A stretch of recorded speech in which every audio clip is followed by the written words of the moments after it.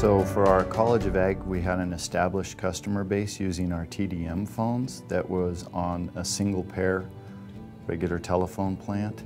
Uh, within the building, they had a completely separate network behind a firewall. So when we went to change over to our Cisco IP solution, we couldn't use the building's network.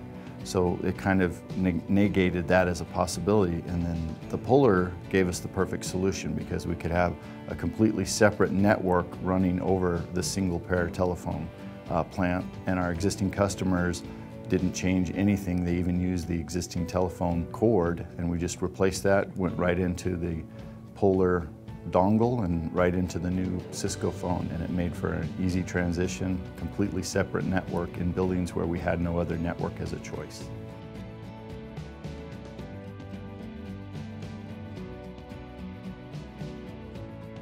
So the Pan American Center is our main sports center they also have concerts. It houses a Ticketmaster office on one far end of the building and then on the South end of the building, it houses our coach's office for volleyball, women's basketball, men's basketball. So we had a number of different offices that needed administrative lines and we would have had to upgrade 12 different network closets in order to support all of their needs.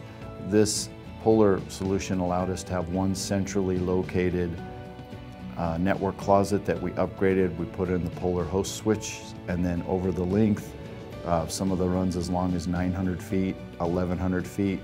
We were all able to do out of that single distribution closet. So that saved us upgrading all those different UPSs and all the different feed switches to those closets. The football stadium, you can imagine, has the same problem. It has a uh, building called the Fulton Athletic Center that houses our athletic director, the football coaches, the team training rooms.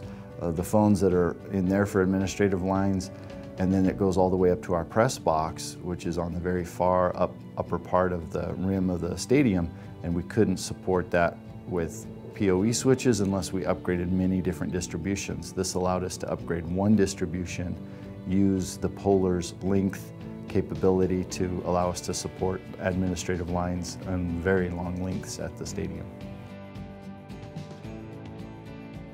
So the Alamogordo branch is a campus about 60 miles from our main campus and we wanted to have all the students there have the same feel as if they were on the main campus.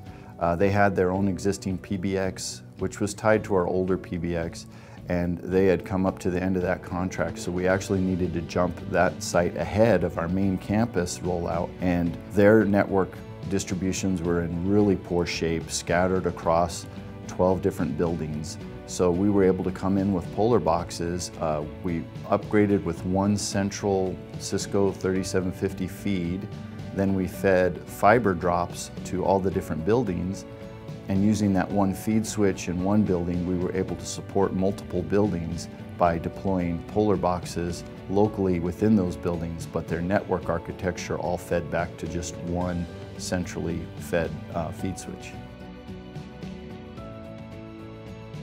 I have that product working on over 50 year old Bell telephone wire uh, and it works every bit as good as any new Cat 5 or Cat 6. And it's an impressive product. Um, and uh, the applications have gone on and on on the campus here because we do have a lot of older buildings with a lot of older wiring.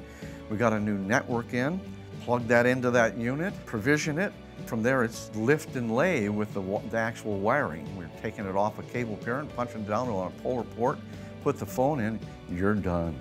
It's an amazing product. I would recommend it highly to anyone.